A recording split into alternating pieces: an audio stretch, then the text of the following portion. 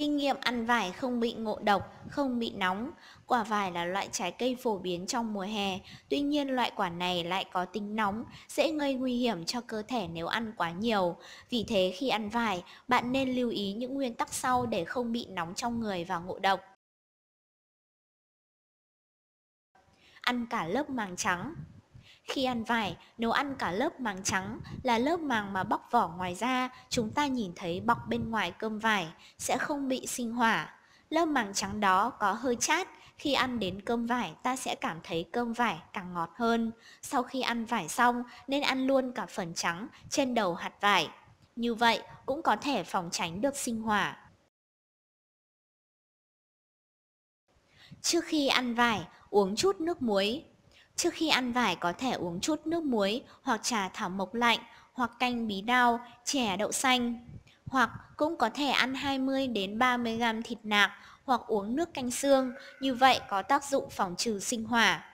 Hoặc là nên ăn vải sau khi ăn cơm, lúc này trong cơ thể đã tích trữ đủ lượng nước muối, qua thức ăn nên ăn cũng không lo bị nóng. Một lúc không nên ăn quá nhiều. Chú ý khi ăn vải một lần không nên ăn quá 10 quả.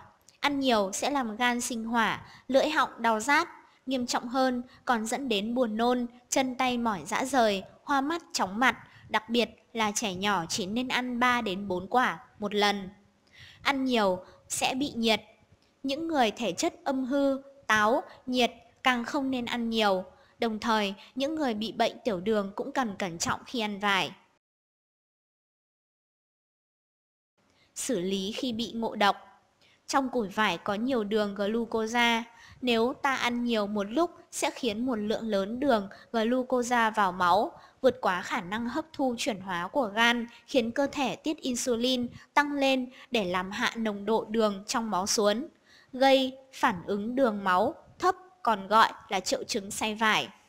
Khi gặp triệu chứng này, chúng ta nên uống một cốc nước đường sẽ giúp cải thiện tình hình.